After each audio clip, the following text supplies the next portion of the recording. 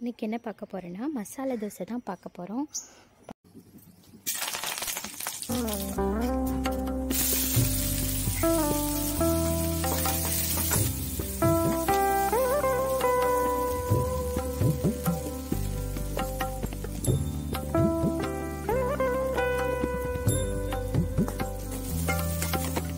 Thank